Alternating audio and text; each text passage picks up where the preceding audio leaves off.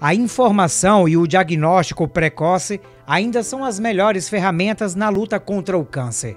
Sabendo disso, o Judiciário de Mato Grosso realizou o webinar, uma palestra online, para falar dos mitos e verdades sobre o câncer de mama. O número de, de, de óbitos pela doença muito grande é o principal tumor na mulher.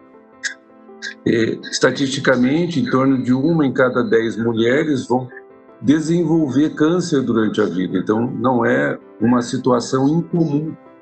E aí a importância de realmente conversar sobre isso, saber o que, que é, para que saiba enfrentar e, e saiba diagnosticar precocemente.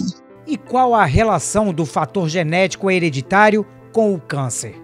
Esse foi um dos mitos abordados. A gente sabe que 20% dos cânceres de mama, eles estão relacionados sim à alteração genética, mas 80% deles, eles são esporádicos, ou seja, ele pode acontecer em qualquer mulher, em qualquer faixa etária, geralmente acima dos 40 anos, é mais comum, mas pode acontecer antes disso também. Então não é porque não tem ninguém na família que tenha câncer de mama que você não vai ter. Os especialistas alertaram sobre os cuidados que a mulher deve ter. Geralmente o câncer de mama não dói. O início dele é insidioso, ou seja, você não sente nada. Na maioria das vezes você pode sentir um nódulo. Você pode ter saída de secreção pelo mamilo.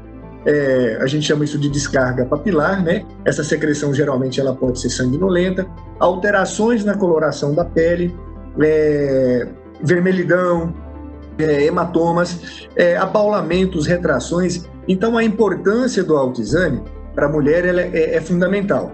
Além do Outubro Rosa, o programa Bem Viver do Judiciário de Mato Grosso realiza várias campanhas de prevenção nas 79 comarcas do estado.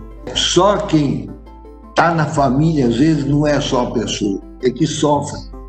E hoje, com a prevenção, com toda a tecnologia que nós temos, isso há uma possibilidade é, de sobrevivência de mil por cento. E as nossas servidoras é, só terão a ganhar com isso.